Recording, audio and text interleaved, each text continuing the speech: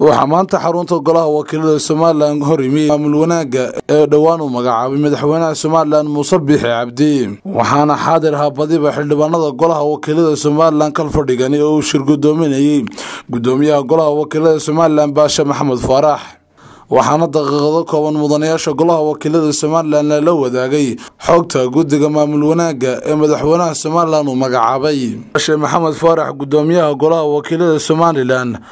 ayaa xildhibaanada golaha wakiilada somalilan ku amray in loo codeeyo shanta mudane ee guddiga maamul wanaagga ee madaxweynaha somalilan uu magacaabay. Codaynta guddigani ayaa waxay u dhacday sida tan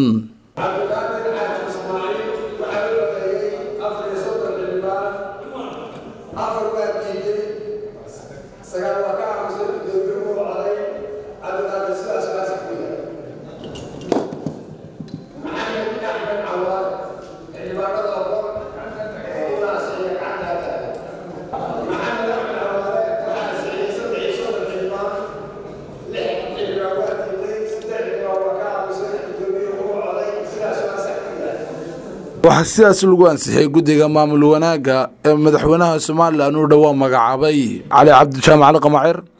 telefishinka badda cas hargeysa